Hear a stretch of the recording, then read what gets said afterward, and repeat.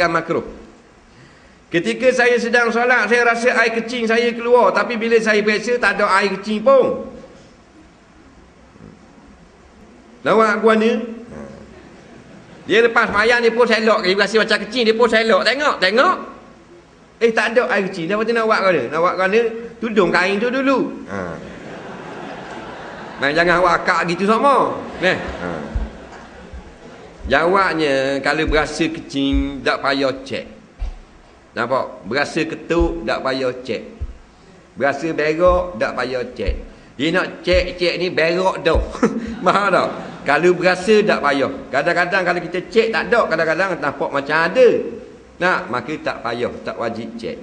Ne? Kalau berasa ceru tu baik, basah dah kain, waktu berhenti semayang. Memang garanti dah. Lepas tu jangan ajar cek, ni gangguan syaitan nak suruh kita berhenti semayang.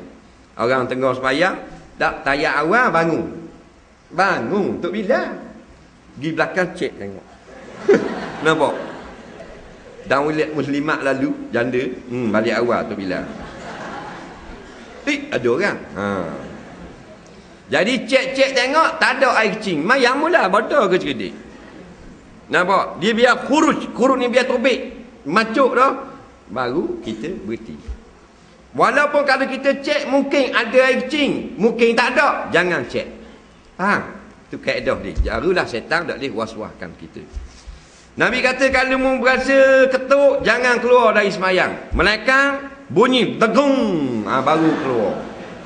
Atau pecah papan rata dua batang. Berok punya, barulah berhenti. Ni berasa ke ketuk, berok tu bik. Setan buat main kita.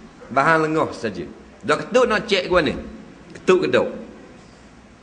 Dia ambil cermin tengok tu. Tak nampak betul.